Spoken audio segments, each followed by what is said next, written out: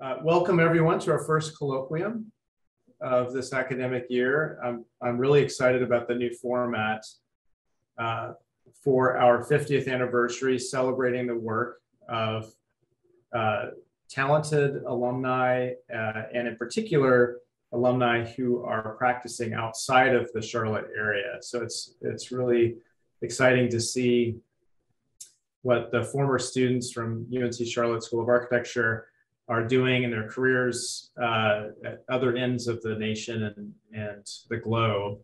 And I will hand this off to uh, Peter Wong. Peter and Katie Zhang have been doing a marvelous job of uh, curating this year's lecture series and uh, colloquium series.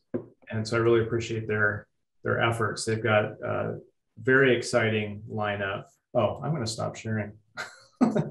but you can see the, the website there, soa50.com for more information. Uh, but thank you all for joining us and I'll hand it off to Peter. Great. Um, uh, thank you, Blaine. Um, I guess also just to mention uh, and give people a little bit of, uh, of, a, of, a, of something to think about, but there also is a symposium that we've been put in charge of um, hosting uh, come springtime. So that's another thing to kind of look forward to. Um, I'm not going to say too many things, but uh, um, uh, I'd like to say a few words about uh, Hunter Knight, who um, is joining us for the first colloquium for this 50th anniversary. Um, we have three more uh, scheduled. And so if you investigate the website that Blaine just showed you, um, uh, you can see and mark your calendars for these upcoming events. But we're really glad to um, have Hunter uh, virtually back to the school. um, Hunter is from North Carolina, it's from Mount Pleasant. And so uh, he's homegrown um, architect. He attended our university and graduated with his BA in 2003.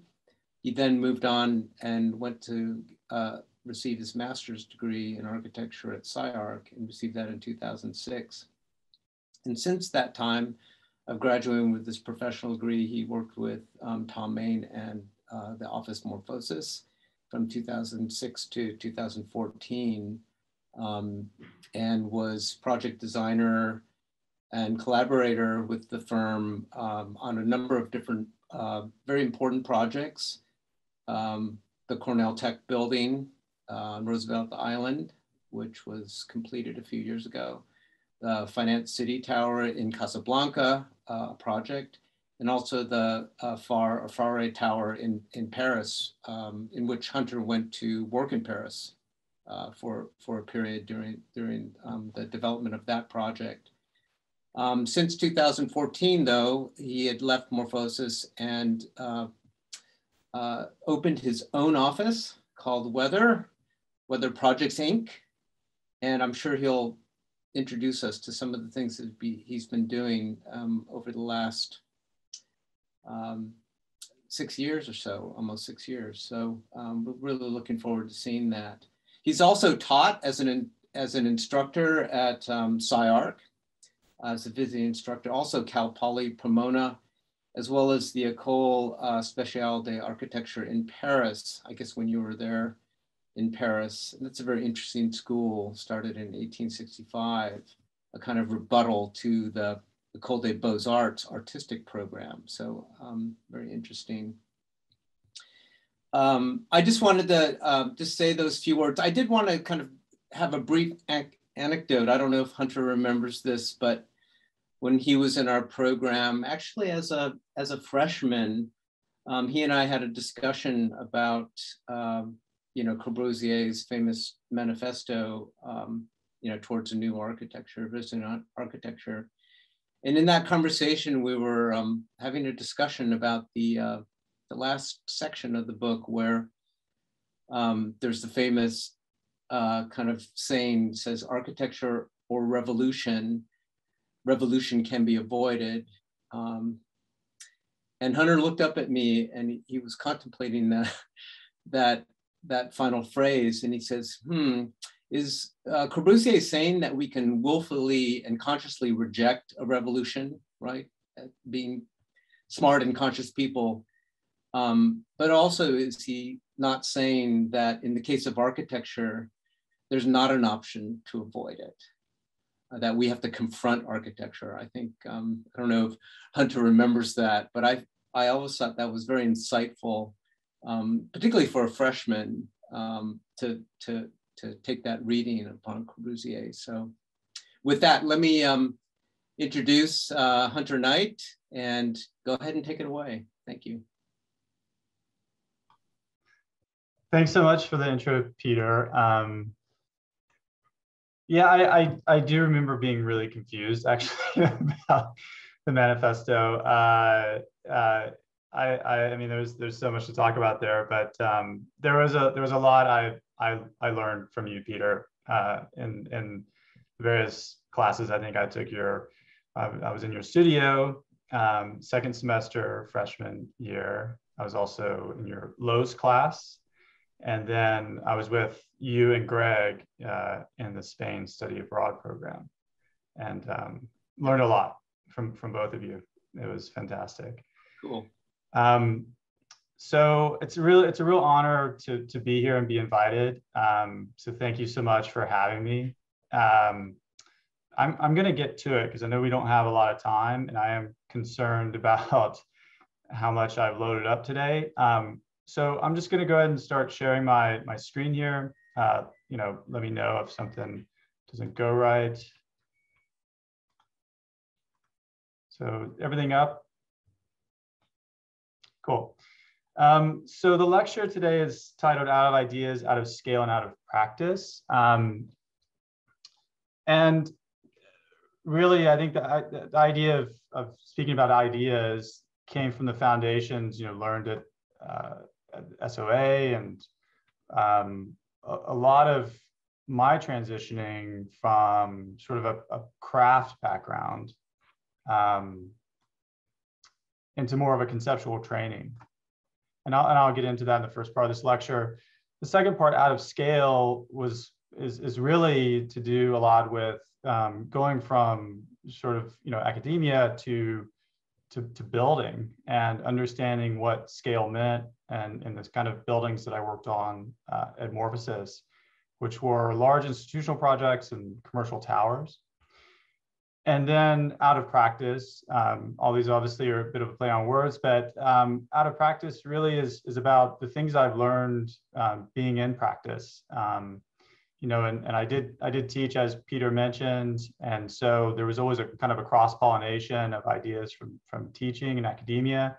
Um, but of the last you know several years running my own shop, um, I've learned so much through practice. So I wanted to share that with you all. Um, so just to kind of go through um, the early days of where I started, my parents had a stained glass shop and in Charlotte. And they didn't do anything as glorious as this. This is Gerhard Richter's um, uh, stained glass panels that he did for a church, which is more conceptual than anything I ever worked on. Um, but my early beginnings were really about craft. And you had an idea, you made a drawing, and then you you made the thing. And you worked in glass, you worked in lead, and and you you built a window. And so any idea you had, there was there was really just the process of making it. And, and that process did involve rigor, but there was no conceptual underpinnings behind it. My mother was a potter, and you know, both she and my dad had this studio together. Uh, my dad did the windows, my, my mom did the pottery, and I helped her in the studio, you know, sweeping the floors, um, also making glazes, helping her fire things. But again, this was a craft that you worked directly in the medium. Um, so, you know, you may make a sketch, you may, you know, um, kind of toy around with with some preliminary, you know, kind of almost like models, but ultimately you, you made a pot. Uh, it's pretty, pretty one-to-one relationship. So when I found SOA, and to be honest, I stumbled into the school on accident. Um, just kind of wandering around, um, I became fascinated with the things I saw there, models, drawings. It just seemed like something I would be really interested in pursuing.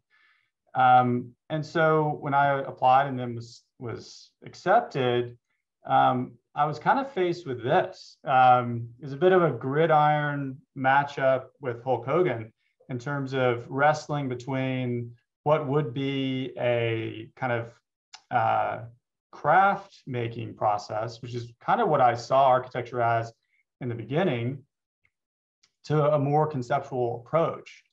And you know, the, the two Hulks of, of that day were Peter and, and Greg. Um, you know, they really kind of taught me the foundations of conceptual rigor, uh, drawing rigor, and, and craft, and how to sort of meld those things into uh, making uh, or, or pursuing architecture.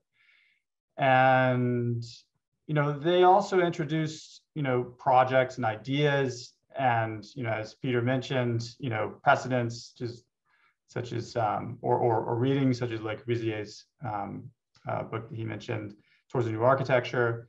Um, and these were things we were really wrestling with, literally and, and physically. Um, so I think for me, my struggle can really be summed up sort of in, in, in, a quote from Robin Evans. I think my earliest struggles, um, uh, and this is paraphrasing, he says something to the effect of, you know, whether drawings should be considered works in their own right. Um, it comes from the recognition that architects, unlike any other artist, um, they do all their work in a media which is different from the one in which the final work was realized. So know that was my real struggle is is i was i was working in drawings that were getting at something um, that i wasn't actually ever able to create. Um, and that was something i really have been reconciling and trying to reconcile with for years. Um, so another another piece of the soa um, or you know peter and greg really introducing me to to architecture you know we would talk about precedents and, and projects um, but I, really, you really don't know what they mean until you visit them. So going with them to Santander and then Oporto and eventually, you know, seeing precedents of architecture, um, you know, this is one of Siza's projects on the coast and seeing this project, living it firsthand, you really kind of, you kind of got it. You kind of understood the power of, of, of architecture and what it could mean. And so, you know, getting this sort of this sort of dose of um, inspiration from visiting these projects. Um, some of my classmates after the Santander program, we left and um, we visited a number of projects, uh, and, and, we kind of took a big European tour um, on the rail line. And one of our pilgrimages was to Brion Vega, and um, you know, anecdotally, Peter, um, this was a project that I that I I really I remember being really confused by and almost I think frustrated by hearing about Scarpa and almost like a kind of an ego. I thought he was being egotistical. I think I was arguing with you. Why would you have such a big ego about something? And and we were talking about the points in the floor, or you were you brought up that you you thought, or or maybe you know, that these points in the floor were references for the drawing and the construction of the drawing, the conceptual construction of the architecture, and, and ultimately kind of made as reference points in the final architecture. And I, I remember wrestling with that and just just thinking, why would you ever do that? You know, that's it's just that's ridiculous. How could you have such an ego to to make a drawing of a true a building, you know? And and then visiting and going, oh, okay, I got it. It's it's super powerful. And and seeing that and going back and thinking through Robin Evans now, the building and the architecture and the drawing, they become they become one. And and that was just really powerful again. And and you know, I I, I attribute it to what I what I learned from Peter and just thinking back through that lecture, being there, it's very powerful. Um, so after leaving um, Charlotte, I moved to LA and went to SCI-Arc. Um, and at, at the time, you know, SCI-Arc was full of a lot of like um, you know, new, let's say, Columbia, um, pe people that had graduated from Columbia had come to SCI-Arc, and all of them were touting, you know, Maya and Softimage and they worked in Eisenman's offices, or you know, they were good friends with like Greg Lynn. So there was a there was a lot of talk about morphology and topology. So I ended up working for a few of them. I worked for Marcelo Spina for a little while, and we worked on this house uh, in Argentina. Um, it was a Maya project. You know, we we did some models that ended up in the Biennale for this project, and it was just very it was just very different. You know, the, the style of design was purely in 3D. We we produced probably you know in comparison really bad drawings, but we produced really beautiful you know Maya models and renderings. Um, but this was one of my first projects I worked with with, with Marcelo.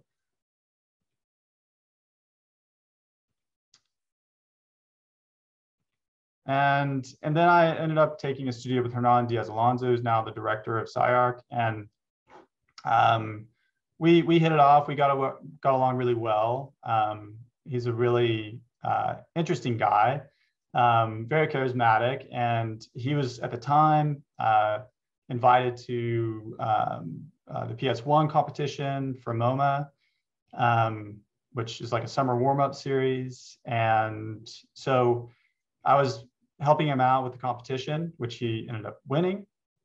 Um, so this is the early Maya model. Um, and so we went on to, to win the competition. And then we went on to sort of figure out how to build this thing because it was super wild and, you know, it was quite a um, aggressive geometry. So a lot of it ended up coming fab fabricated out of uh, fabric and conduit pipe. So we ended up um, speaking to Arup on how to build these kind of really curvaceous, you know, 3D curves, basically, um, canopy structures. So, and speaking with Arup, we came up with kind of a structural system that would be built up of these welded pipe systems that would then be sort of uh, fused together. And then one of my classmates who ended up uh, later going on to Gehry Technologies, he wrote a script that would basically cut the pipes into um, just single serve segments, single curve segments. And then later they'd be sort of assembled into three dimensional curves and then kind of wrapped in fabric. So this is the final product, by the way. Hernan was obsessed with Maya so much so that we were trying to match the fabric to like the Phong material material colors and in Maya. Um, so it was really made to like look like a rendering, um, just kind of a funny, funny thing. But so this is it. Um, after leaving SCI-Arc, um, you know, Thom Mayne actually was on my final review and saw my thesis, and um, and I ended up, you know, applying to his office.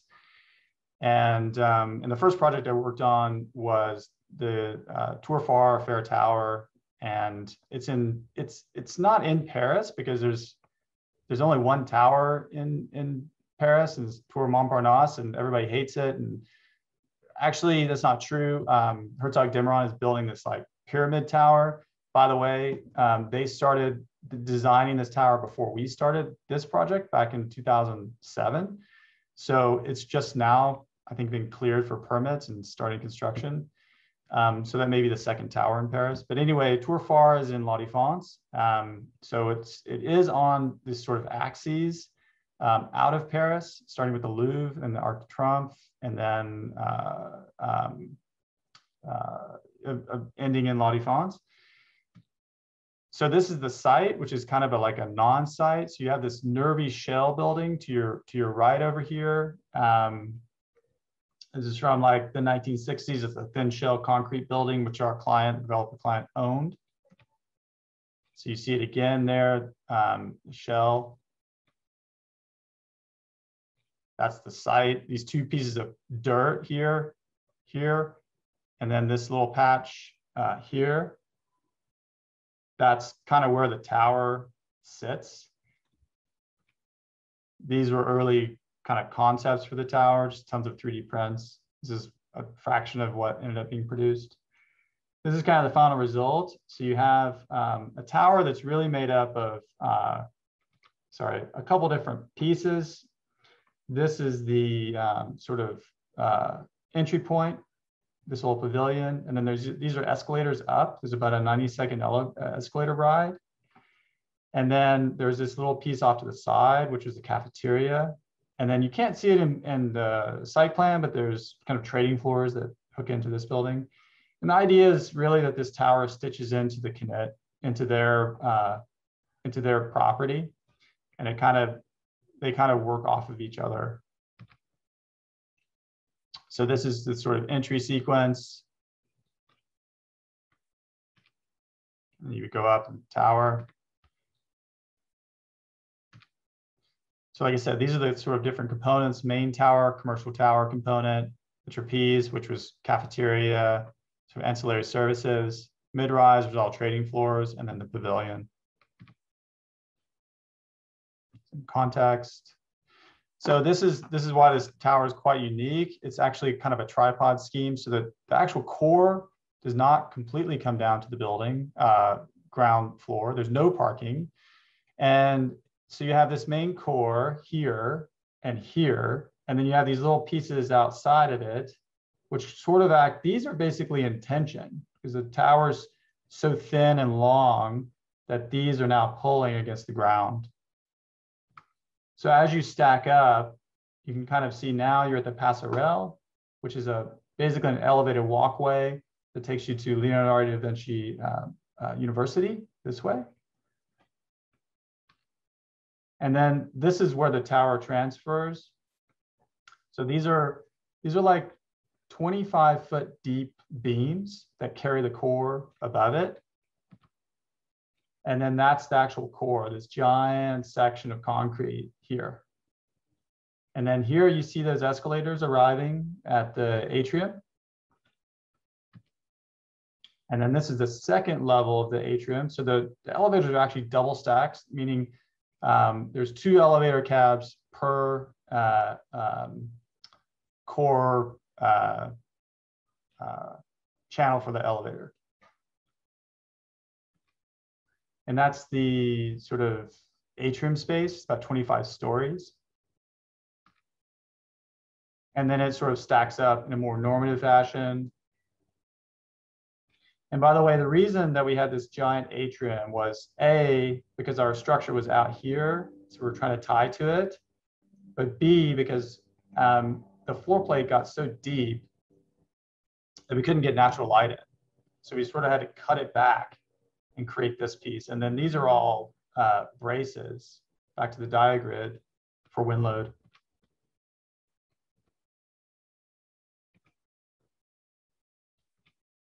Roof. And then this is in context from Paris.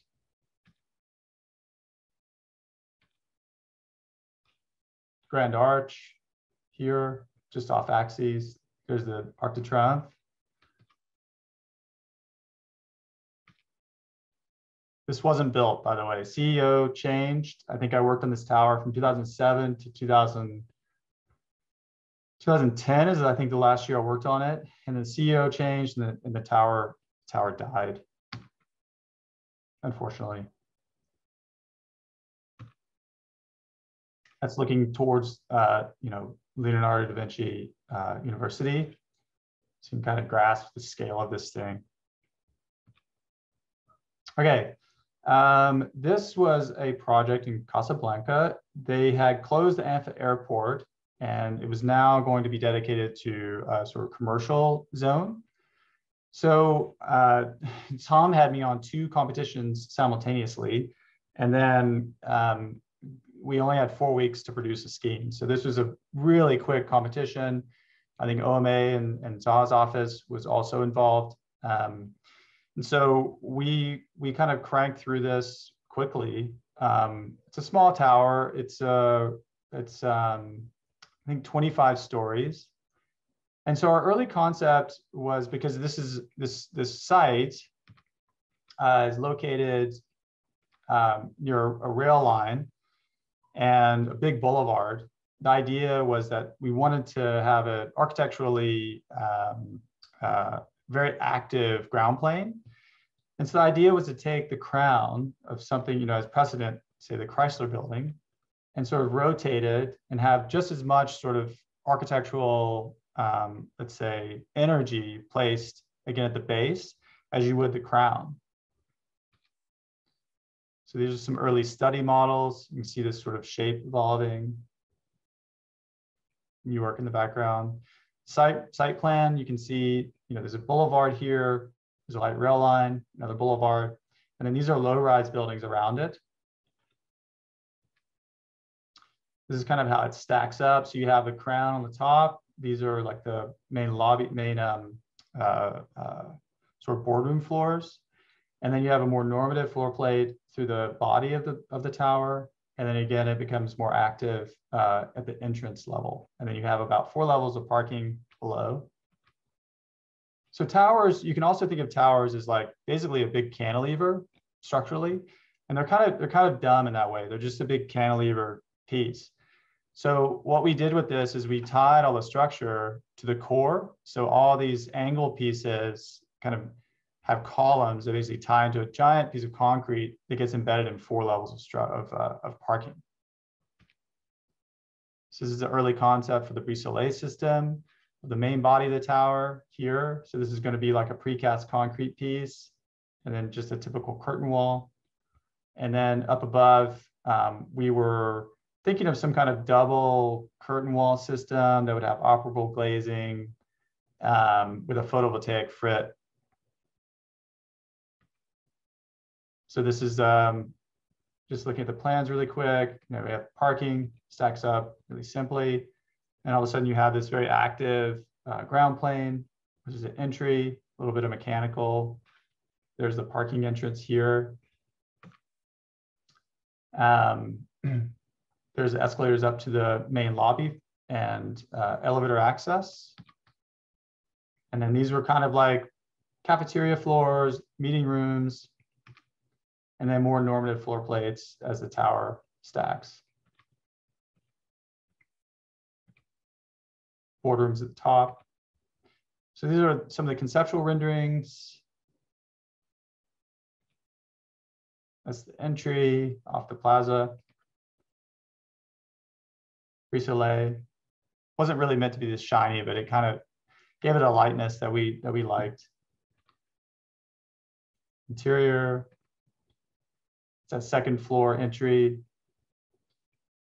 Boardroom at the top. There's our kind of big operable pieces. Crown. So this is it now. It's almost finished. A lot of construction going on in the Anfa airport area.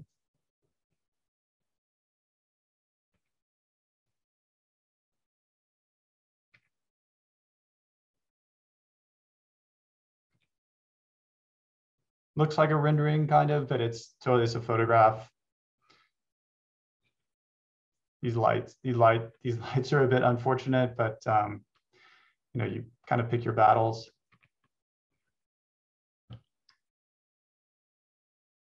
There's the crown. This is the last project I worked on. Um, or it's not the last one, but the last one I think that got built um, that I worked on for Morphosis. It's uh, Cornell Tech. Um, it's right off of Roosevelt uh, Island. There's the first building going in. This is the SOM. This is the original SOM master plan. Um, this is the revised master plan after we we won the competition. And this is our sort of initial stab at the scheme. So there's our building here. This is all photovoltaics, kind of a big canopy. These are all placeholder buildings. I think none of these have been built yet, I believe. This is the Louis Kahn Memorial. Um, quickly run through the plans. This building was interesting in that it wasn't a conventional, let's say, like school, in the sense that it was really meant um, as a meeting place and a collaborative place for businesses to come and sort of test out new ideas. So um, there was no offices for the faculty. It was um, basically just lockers, uh, and the the the studios, or let's say the classrooms, were modeled after kind of the D, Stanford D School, Stanford Business School to be highly flexible. So basement was your lecture hall, more traditional.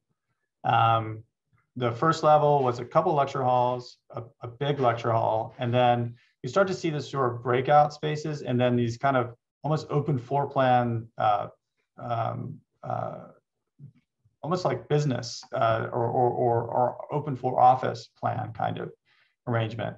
So these are more like for breakout spaces for a few people to meet these smaller uh, rooms.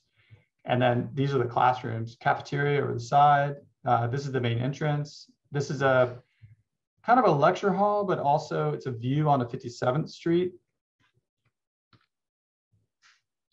That's that atrium piece again. And you'll notice there's a spine that goes down the length of the building. This is a triple height space and it was really meant to mimic what SCI-Arc does really well with its studios, which is the singular hallway where everybody sees everybody, everybody sees everybody's work. So there's an idea about creating cross pollination of ideas, chance encounters. That's really what this sort of this sort of cut um, and open space was about. There it is again. Same sort of arrangement of open floor plan. and then a big photovoltaic roof. There was aspirations for this to be net zero. So we were looking at all different types of stuff, like using the East River to kind of cool the building. Um, you know, I think they originally said to do net zero with the loads we had, we need we would need four football fields full of, full of photovoltaics. Um, we weren't even close with the amount we needed. So I'm not sure where they ended up with the count. Um, Cornell finished after I left. Um, but I know there was a lot of ambition. These are early renderings.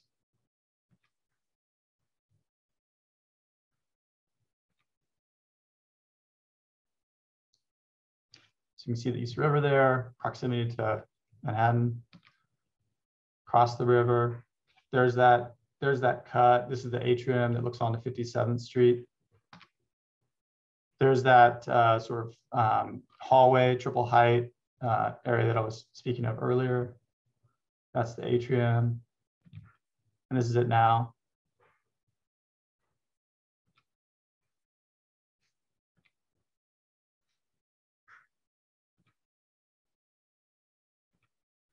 Okay, um, so other projects um, started back in, you know, we kind of started in 2012, but uh, it was really kind of my wife and I just messing around with small renovation projects in New York. Um, we didn't really get off the ground until 2014, but you know this is the area of influence at Morphosis. Um, you know, international projects, you know, big scale stuff. Um, you know, I, I was flying, I was traveling a lot, and and I really saw architecture as sort of a global practice. In that, you know, buildings were destinations um, this is my area of influence now, or, or rather some, where some of my projects are located. It's hyper local, right? Um, I'm in East LA. Um, you know, my projects, some of my projects are, you know, the furthest, I think I have one in Marin, but most of them are in like West LA and Hollywood. So we kind of, you know, this is always changing, but these are some of our governing ideas and things that we come up with so right now, you know, what we're looking, we're really trying to do is focus on making better spaces, places, buildings, and cities through a cultural resonance and um, which is super important, environmental strategies, but not letting either one kind of override the other. Um, and we want to develop a body of work that revolves around dialogues between atmospheres, sensation, of course, weather, because you know that's our name. Um, and the work really aims to be more typological and less topological, more minimal, less maximal, and uh, leans primitive over complex. And last, really just, you know, it's uh, just resisting, you know, uh, any kind of ideological, uh, um, you know, lean. All right, so you know, funny enough, we started weather and we were trying to do small projects because to be honest, I was fairly burnt out on the large scale stuff. It was, you could never resolve anything. There were massive projects, massive timelines. And I wanted to work on something smaller, but we ended up with this 10 story hotel in downtown LA. Um, we were the third architect this client had hired. They were super connected with the art world and we couldn't say no. Commune was the interior designers and we thought this was a great opportunity, so we took it. We had a flimsy contract. we probably didn't get paid enough, but it was a great opportunity. Um, but this is a, like I said, 10 story hotel, which you see here. This is an existing like early 1900s, uh, unreinforced um, masonry building. And it was like an SRO. The, the fire department was using it for practice runs. So it was in really, really bad shape. And then this glass cube was like an art, uh, art incubator, meaning like artists could come here and stay and do installations. And then it would also serve as gallery. And then up top here is a pool deck with a couple, sorry, um, a pool deck with a couple penthouse suites. This is the entrance. So coming into that unreinforced masonry shell, um, these are bridges into that glass cube and then a canopy of, of structural members. Some of them are actually bracing that unreinforced masonry uh, facade. And then some of them are just kind of decorative lighting pieces. This is that pool deck, two penthouse suites up top, bar, and then your pool. So while we were working on this project, um, like I said, they were the, the clients were pretty, I don't know, um, active in the art world. So they, they had been speaking with Chris Cunningham, who's been dormant for several years, but he was working with Bjork on like a um, art installation piece for MoMA. So they were, they found this kind of industrial uh, space in downtown LA for him to sort of experiment, but they wanted to control they give him a bunch of money. So they wanted to be in the same space that his digital production studio was in.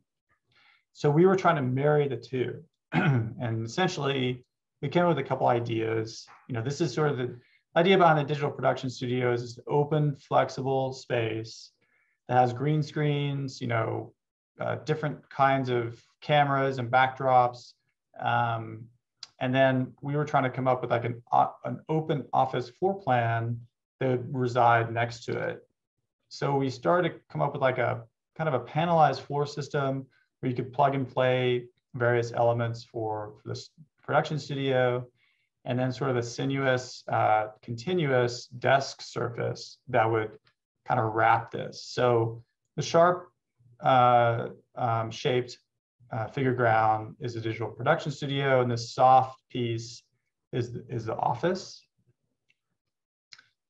This is our floor plan, which is, it's a super weird uh, existing building. Uh, we basically have studios that hug the outside of this.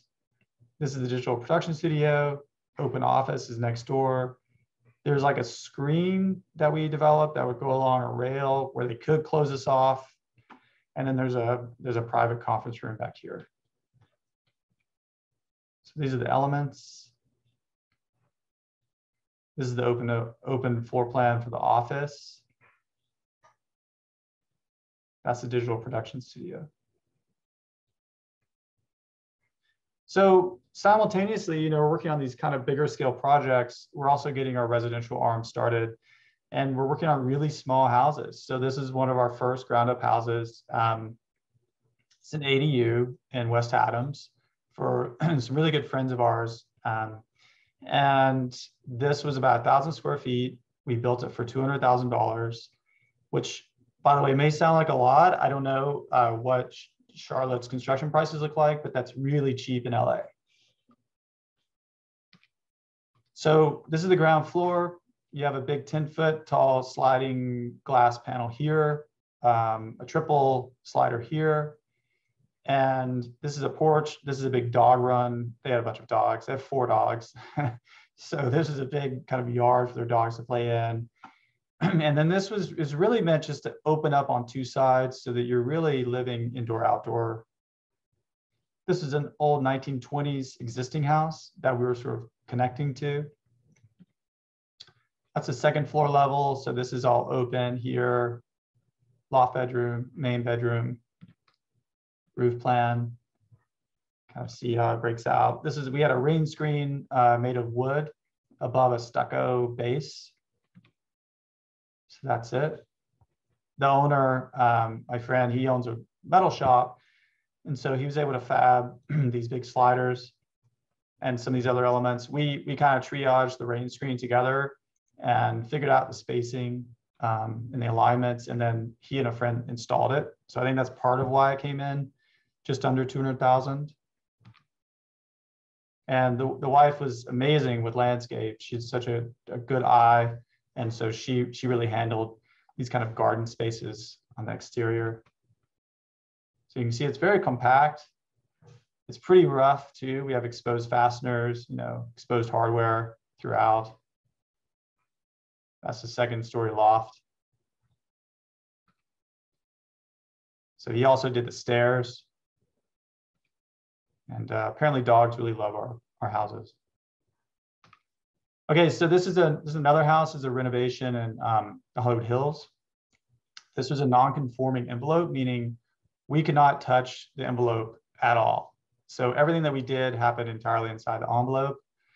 Um, it's non-conforming because it's a 4,000 square foot house envelope wise uh, on a 1,700 square foot lot. So I have no idea how this was approved in the first place, but my client bought it and wanted to know what we could do. So we ended up our first thing to do was this this original facade looks onto the Hollywood sign and the San Gabriel Mountains.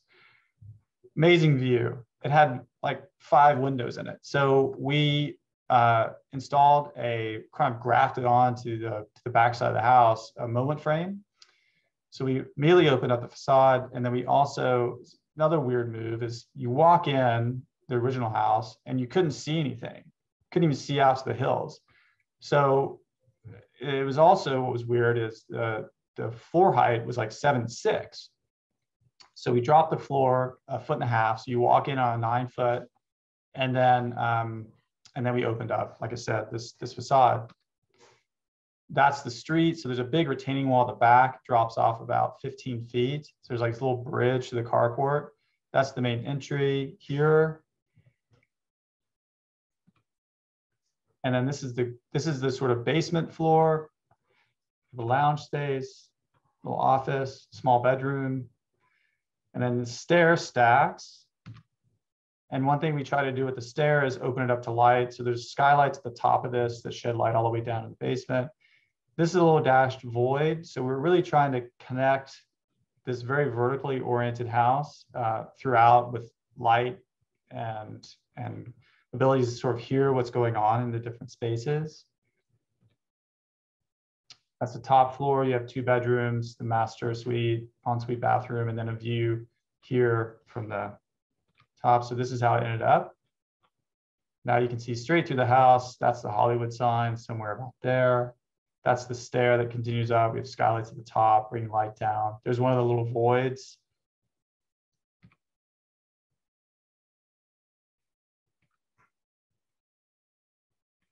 And we also play around with smaller objects in the studio. These are 3D printed uh, dress numbers. Um, they got stolen, I think, after a week. Somebody liked them, I guess. Um, this is the this is an all plywood birch screen, uh, Baltic birch screen with Baltic birch uh, stair treads. So that's kind of the interior. That's one of those voids up there connecting kind of a little ancillary reading space with the living space below. It's the Baltic birch screen stair again, looking out onto the street. There's another void connecting down. And that's that view from the master uh, suite, Hollywood sign. There's a San Gabriel's, they're off in the distance. Um, this is a house we're working on currently in Bel Air. Um, it's under construction.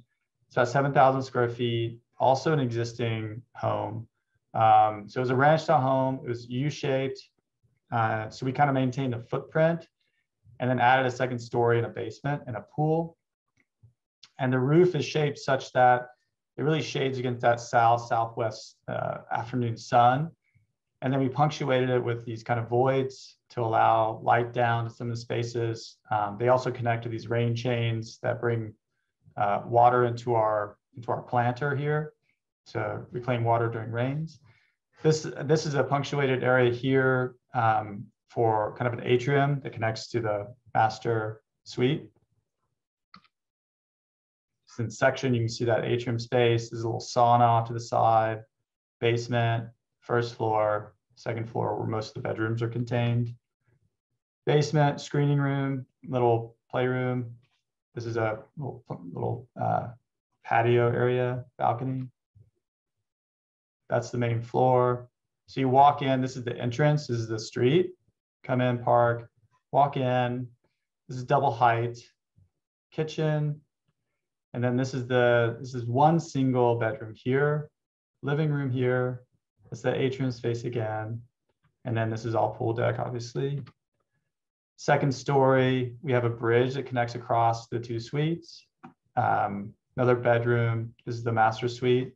And this long linear piece is the bathroom.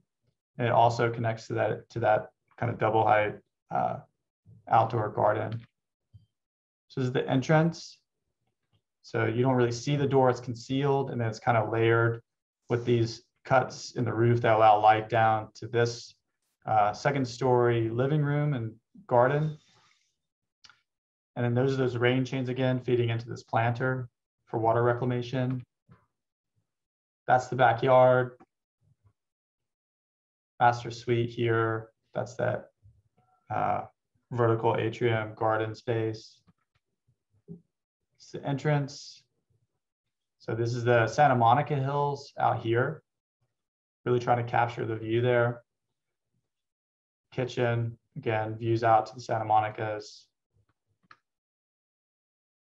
That's that atrium space off the master suite. It's our bathroom. Very private view. No one can see you from here, we hope.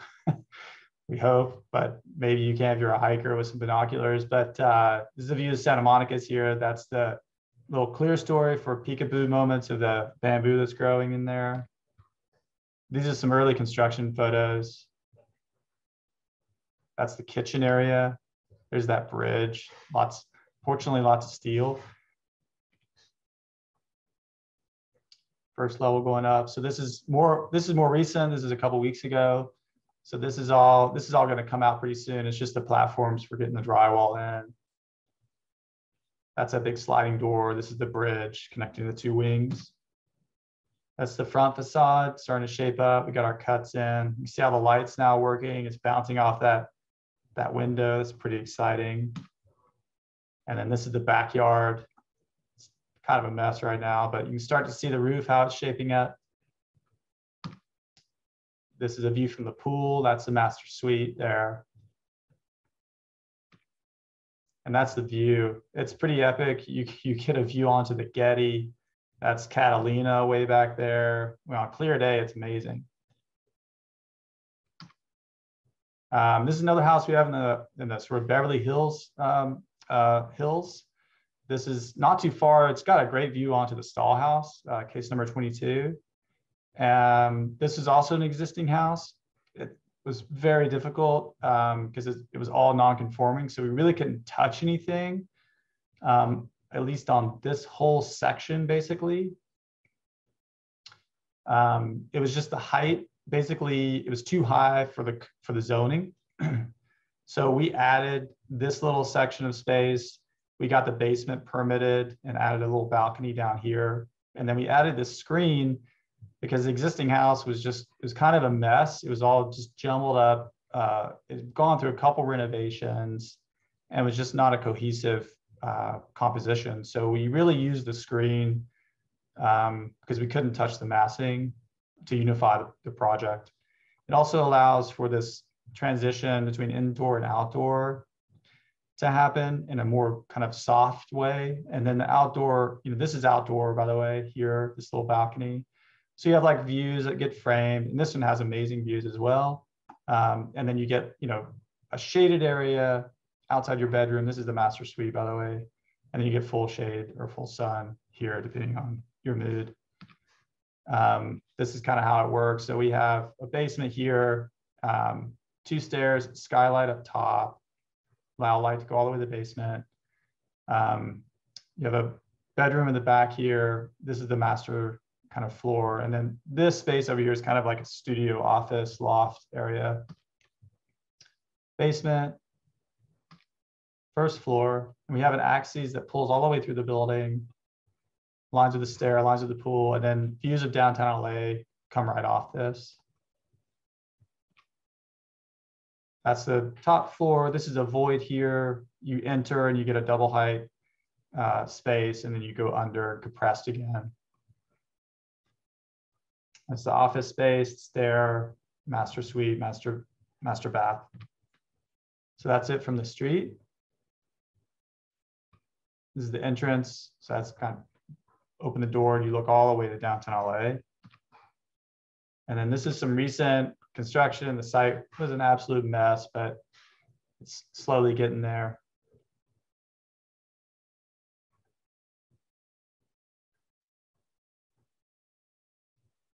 So the Stahl house is just there through that window. And then on a, on a clear day, that's downtown LA. On a clear day, you can see the Catalina as well. Another one downtown LA. This is from the master balcony patio. Stahl house right there. And then that's that void over the entry, skylight above.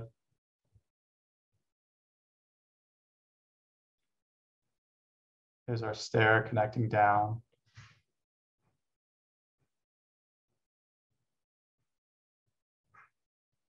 There's our pool.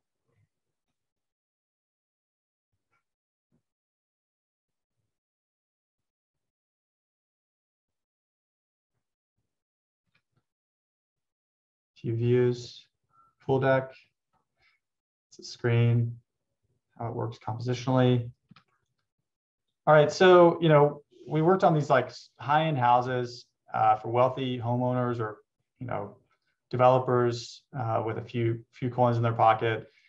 And meanwhile, you know, LA is going through a crisis. So we really wanted to put some of our effort and interest into how to how to help, you know, the, the housing crisis. So, you know, the ADUs have been really kind of a, a welcomed uh, idea throughout LA. A lot of a lot of private, you know, homeowners want them, but they're complicated to get in. Um, they're expensive. Um, a lot there's a lot of prefab companies, but the prefab stuff is pretty difficult because you have to lift it over the house. There's access problems. You still need to build all the infrastructure like foundations, run the electricity and water and power and or uh, gas lines or whatever you're doing. So we really want to think of like a flat pack or some kind of way to, to help. So I'm going to go through these two examples really quick because they kind of lead up to another idea that we, we just submitted on to the city. So this is an ADU idea that we had, um, very compact, kind of a kit of parts, so to speak. Um, it's a really, it's like 400 square foot ADU. Everything would be built in. Um, it'd be made of a, a metal uh, standing seam facade, um, wood frame construction, um, on a, on a uh, raised uh, foundation. So we really just wanted to kind of put in every element that we could possibly conceive of to really understand everything that would need to go in to this house. So we just try to draw everything and then walk through the sort of assembly process as if we were coming to the site with a kit of parts. So trying to really understand where we could innovate. So this is by no means like a solution. It's really trying to understand what we're dealing with. Um, so another study we did is looking at affordable building sites the city actually owned and they were looking to, to have developers buy. And we are looking at ways in which we could think about these sites that could either be combined um, or they could be um, bought by several people and maybe use a sort of incremental housing concept um, to build upon. So we started looking again at, at an ADU like footprint, you know, like 200 to 400 square foot kind of unit, and maybe it had knockout walls or maybe it had, you know, flat pack like what we are looking at before. That could be configured in multiple ways. So we started looking kind of like a family of things, family of these kind of units. Um, so we thought, well, somebody could like maybe buy one of these parcels or go in on a parcel and put in like kind of a moving house, you know, tiny house. Maybe that tiny house grows to to a larger piece and they have like a roommate. They add on over time. Maybe they add on another one. Maybe they add on a duplex, landscape. So this is kind of a stab at thinking through the incremental housing process that might be something you, you buy and then you, you really add on over time as you have more wealth or more people that would be interested.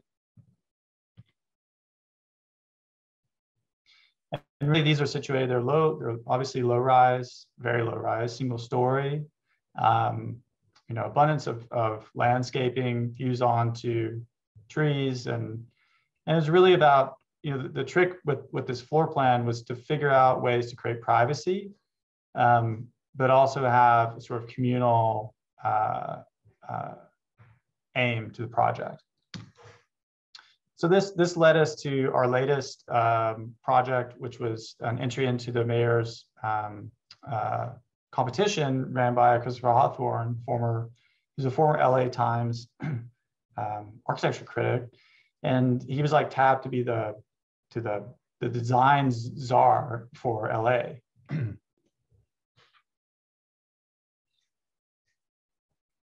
so you had a, a number of choices on this competition um, varying from uh, unit makeup, unit size, um, or if you're going to do like an adaptive reuse. We chose um, a uh, 50 by 150 lot in LA, very typical, uh, to do um, uh, two, um, two uh, four bedroom units and two duplexes. So six units in total.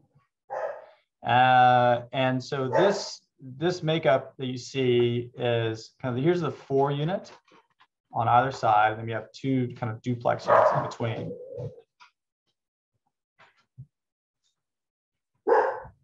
Sorry, my dogs are going crazy. Um, so these uh, these are arranged basically along a path. So the path is here in the south, and you have this sort of zigzag pattern that allows for these balconies, and these patios to emerge south. All of them have these kind of these odd shaped uh, triangular pieces are, are wind catchers. Um, they also can serve as ways to exhaust hot air when the windows are open. So all the all the units also are, are very thin, so we can allow for uh, cross ventilation. Um, and and again, a lot of stuff we were looking at in the previous uh, two examples apply here. So we are trying to think of like you know, the, the four unit had a junior ADU that you could rent out, um, or you could not enclose, or you could not build it, or you could build it later. So you could infill it, and then you know, tenants could become landlords, so to speak. So a way to to afford um, these through kind of a, an idea of social equity um, or socially constructed equity. Um, and then, you know, we're really looking at at these uh, buildings through an idea of you know, bringing in landscape, landscape, lots of light, um, trying to make flexible spaces, flexible spaces um, that can be utilized, such as this middle one. Uh, it's basically like a, a, an area you could like rent out um, for maybe a home office, or you could rent out um, for parties or whatever, you, you know, kind of as, as things would be needed.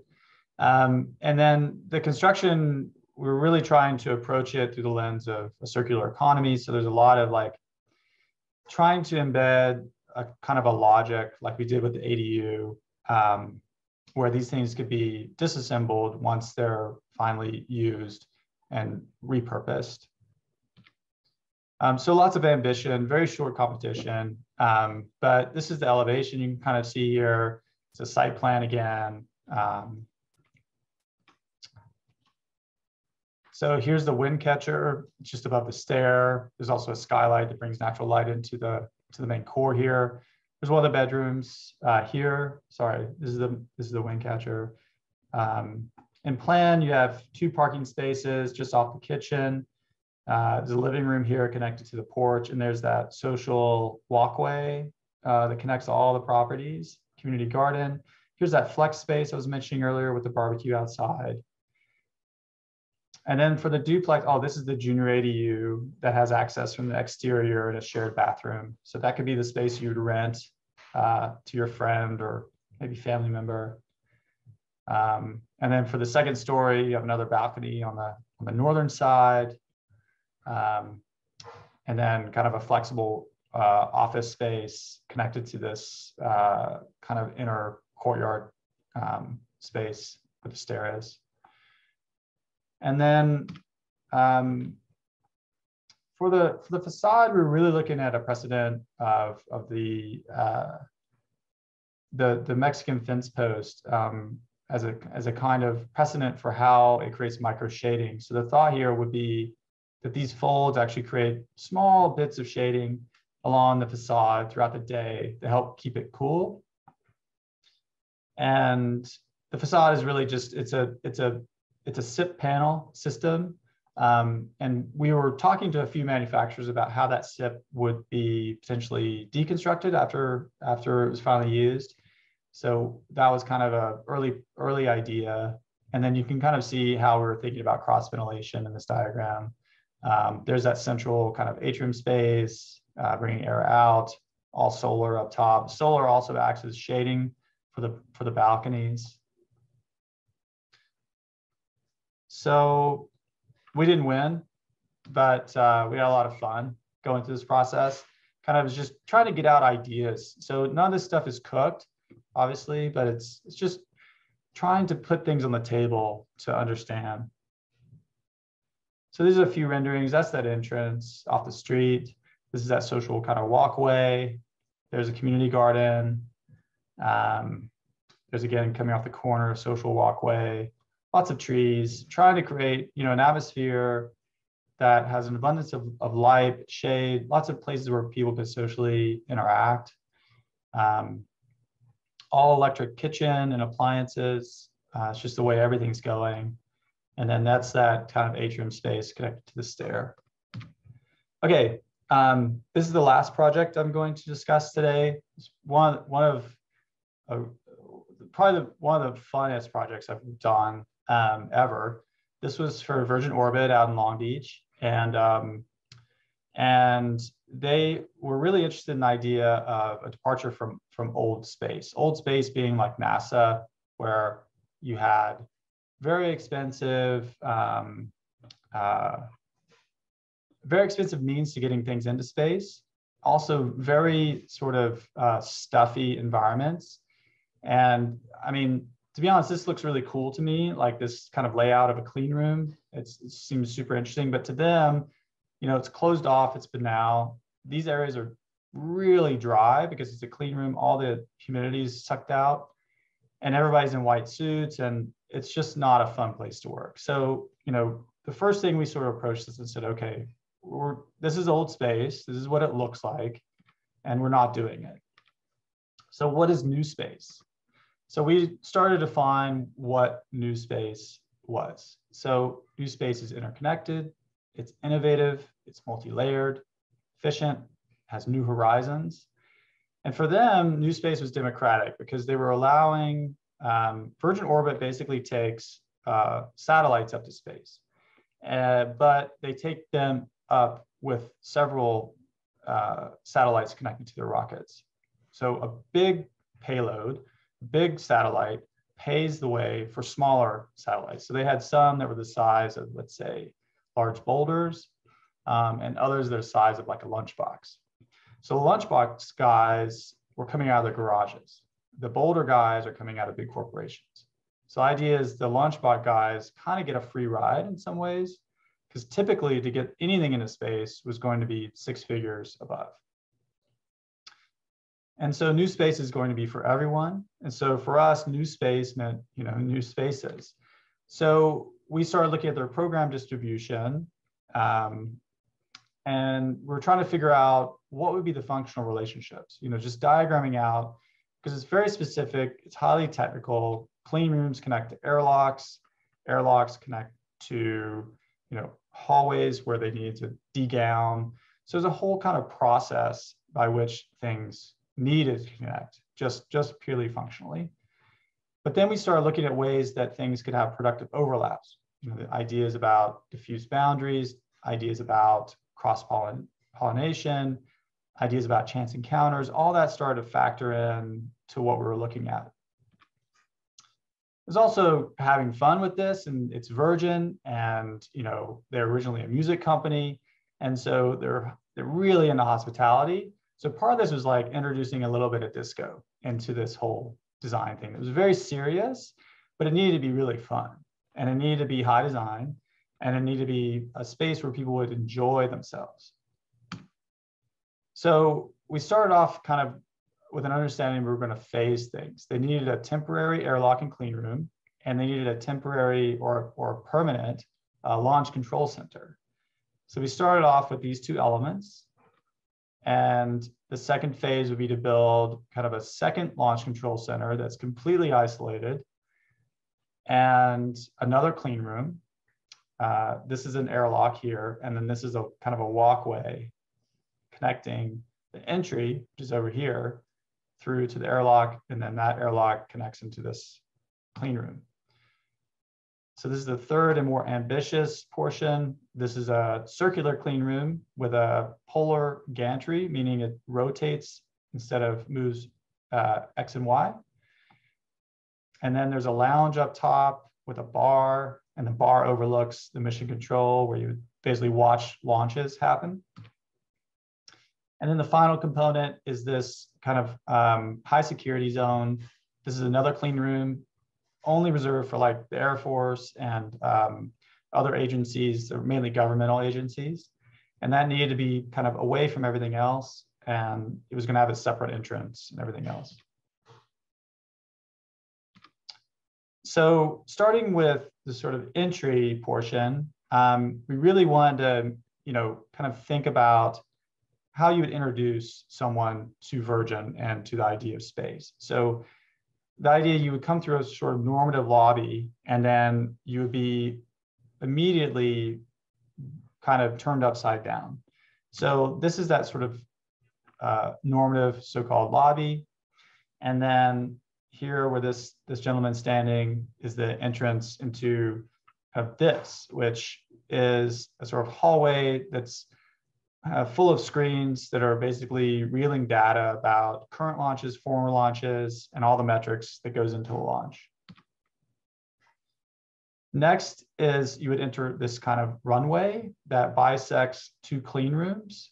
And we're thinking that this, this runway would really serve as kind of a terrarium where you know you're in these really dry clean rooms and you'd be looking on to greenery so the idea that you're mixing sort of environments that shouldn't be together, but also mixing environments that may be really pleasant. So you're in this dry, banal space, where you're able to look on something sort of pleasant and soft.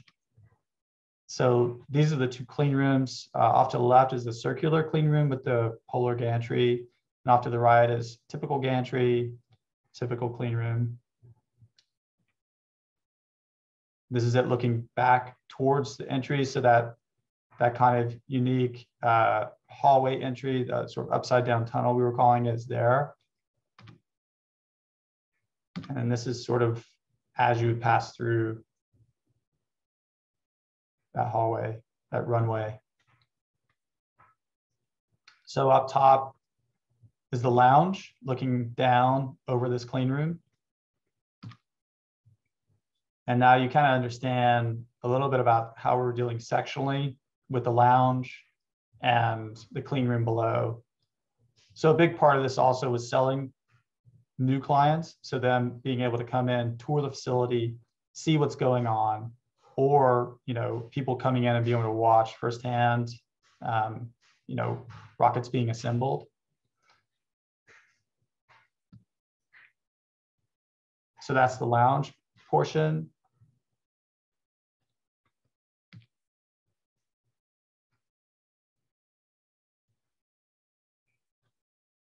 This is also, this, so this is the lounge portion with the bar that overlooks the projection wall where you would watch um, current launches happening. So this is this area is really about just partying, just having a good time.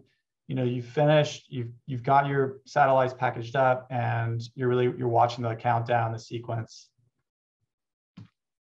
So again, you know, thinking about that space, really introducing a little bit of disco, maybe space disco ideas. So this is that over that lounge space um, with the tiered seating and looking looking onto to the launch area. This is it from the factory floor. So there, this one thing I didn't mention is all this is contained within an existing warehouse, about 40,000 square foot existing warehouse. So behind these people is actually where a lot of fabrication is happening. So everybody would kind of gather around and be able to watch these launches taking a place. And that's it in full effect. So off to the left, you have the launch uh, control area. There's our circular clean room with a lounge above. This is a little cafeteria in front of their branded wall.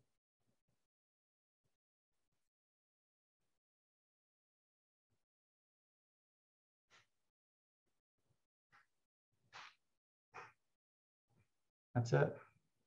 This is really great, uh, Hunter. Um, we're going to have to go to studio in about 18 minutes. So yeah, I'm. This is the last slide. So um, thank you, thank you for time. Really wonderful work. Very interesting. Um, can we just open it up to the audience? Uh, we still have a number of people here. Um, go ahead and turn on your mics if you have a question for for Hunter. I'd like to just make it a, a kind of you know casual discussion session as we head into studio here. Uh, hey, Hunter, I, I had a question. Uh, I'm Elliot. Uh, I'm a master's student here. Um, I, you have like a lot of different experiences and a lot of different projects over like a lot of different scales. And uh, I'm kind of wondering about your kind of, you know, design, you know, like thinking or your design process of how you would how you get into each of these projects. Like in the beginning you showed a lot of like printed 3d models. Um, i'm just interested in how that kind of how that kind of goes for you. Um, you know that's a really, that's a good question. Um, it it depends you know a lot on on the type of project. Um, what we're trying to achieve um, and and the and the client. So, like for for Virgin, for example, um, the client team was awesome. They're they were you know aeronautical or aerospace engineers, and they're used to solving super complex problems, like way more complex than architects come up with, you know. And and so what was what was really interesting about them is like before we even like sat down and tried to sketch anything, we just tried to understand what they needed and what their ambition was, you know, and and after we kind of got all their feedback, um, we you know immediately started with just just sketches, just ideas about you know those functional relationships I showed you, just trying to understand the problem. So and that and that's really something I learned, you know, early on, you know, at, at UNCC, but also, you know, Thom really hammered this into me too. Was like when we do these towers, before we could do anything else, the parking had to work, the building needed to work. And so you work out those functional parts, you create a partie out of it. And from that, you would then move into massing and try to understand what could you sort of innovate on, um, what was missing, and what areas could you sort of improve upon that were typical in a typological way um, that you maybe haven't seen before or could be could be re, rethought. And so there's sort of like a conceptual brainstorming activity that happens, and that may include pulling precedents.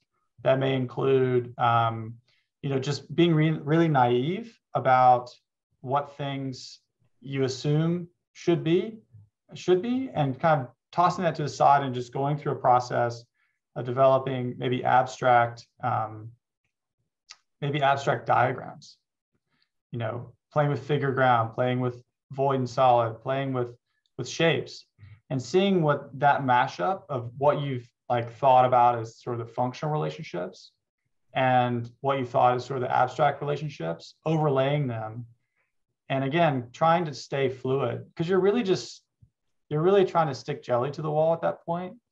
And I think early in my career, I was uh, I was always, you know, this process is really anxiety riddled because you don't know what you're going to come up with. You don't know if you're going to solve it. And um, you don't know what's going, what the outcome is going to be. And so that anxiety still hits me even at the smallest scale projects. Um, but I would say I'm more comfortable with it. And I have more patience just going through the process, knowing that it will lead to something. If that makes sense. Yeah, yeah, that makes sense. Thanks. Other questions, please.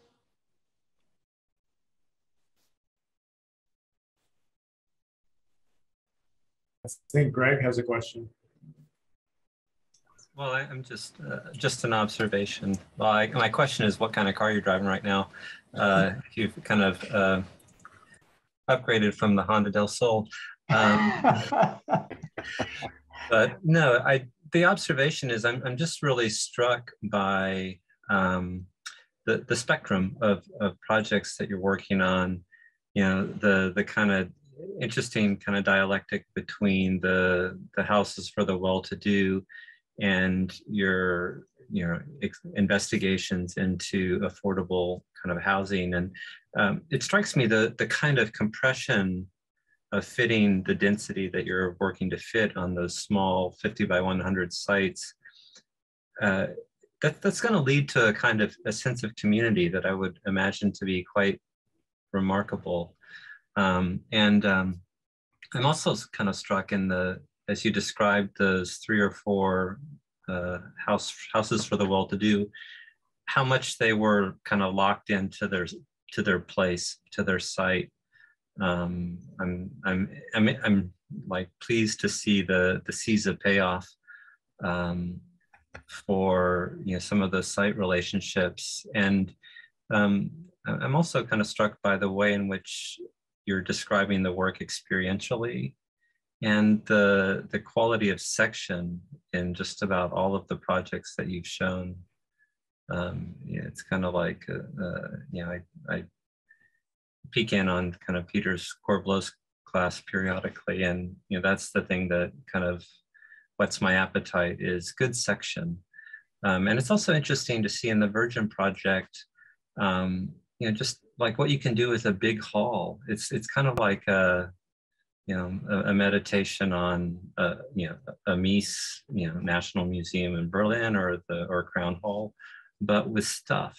Um, so I'm, I'm just delighted to see the the work. So that's not much of a question, but I, I am wondering if you kind of upgraded from the Honda del Sol. well, I'm not sure how this is going to, you know, be viewed by you, but maybe maybe I think you'll I think you'll like my I don't know if it's an upgrade because I think they're almost the same year. I have a 2001 Toyota Tacoma. Okay. okay. All right. Yeah. Do you still have your truck, Greg? Yeah. Yeah. yeah. It is a Toyota, so that's why I was thinking you might shame me, but um, no. But yeah, nevertheless, it's still a truck. Um, I still, I still, Peter, I, I still want, you know, an, an, an M, M3, but you know, they're expensive these days. Let's stop talking cars. You're exposing too much to the current students that we don't want them to know about. Yeah, yeah, yeah. Um, but Greg, thank you so much. No, I mean, you know, uh, that's, that's really coming from you. It means it means a lot, and um, so I really appreciate the kind words. Um, I think you know. going back to Peter, yeah, I mean, Maison de Verre. I mean, Peter had me draw that section, I don't know how many times, and I still didn't get it, you know, until I went there. And I was like, oh my God, this is this is really powerful. The, the way the way the section works and how it impacts the space.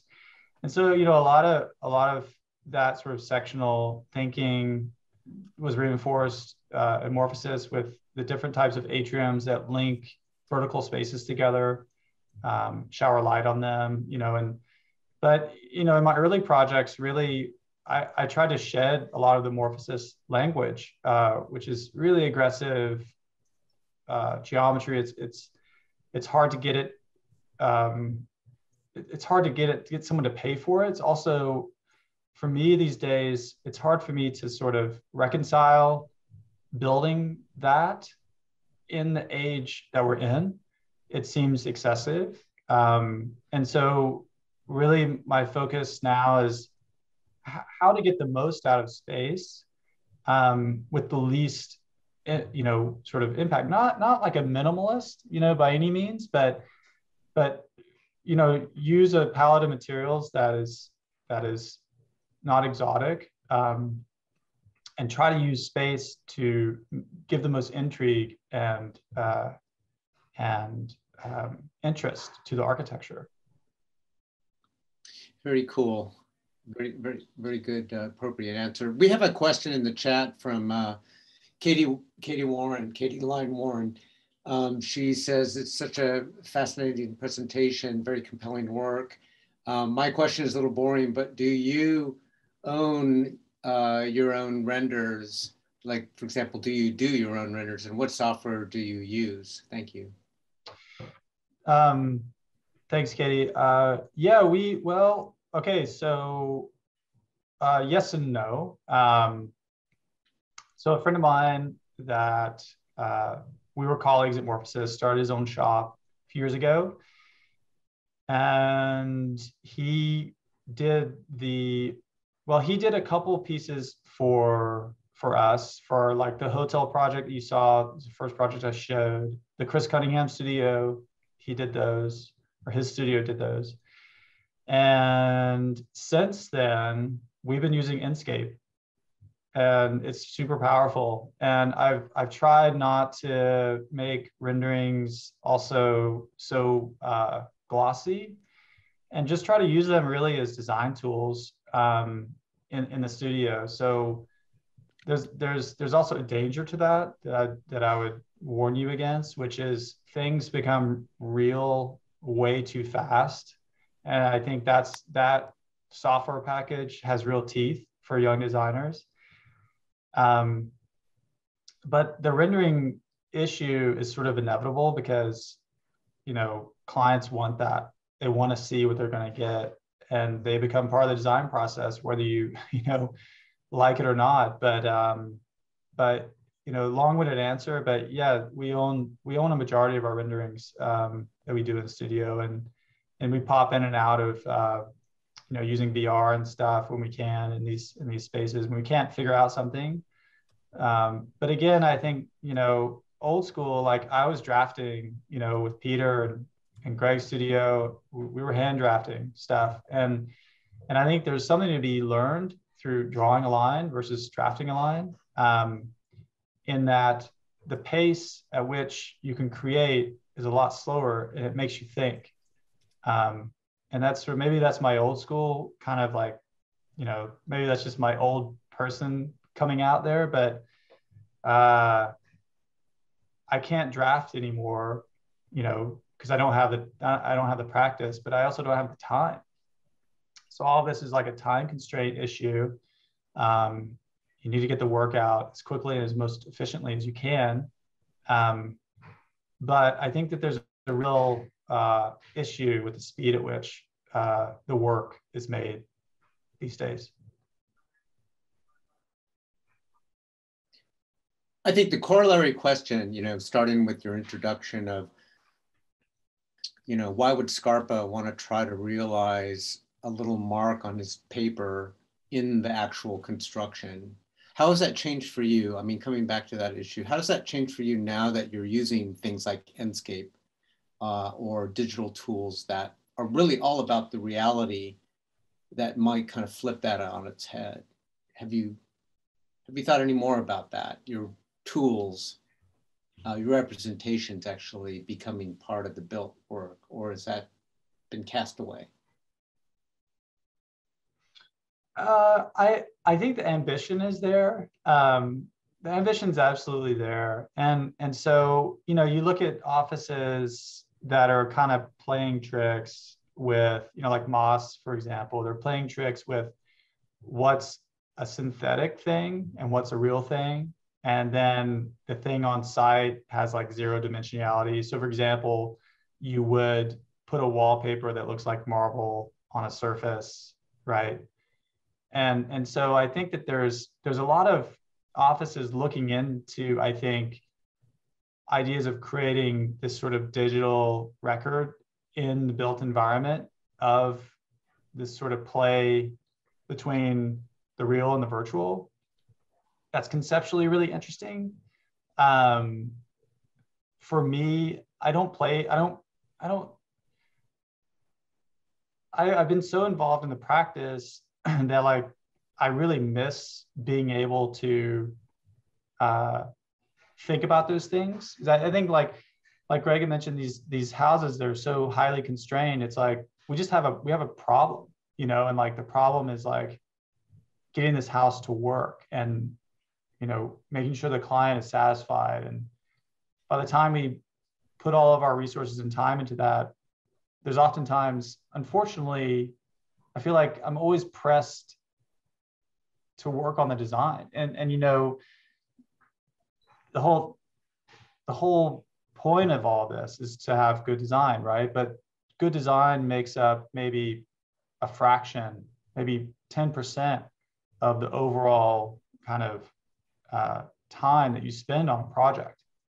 But it's got to be the most important piece, right? Because otherwise, you're not, you know, there's no reason to execute that.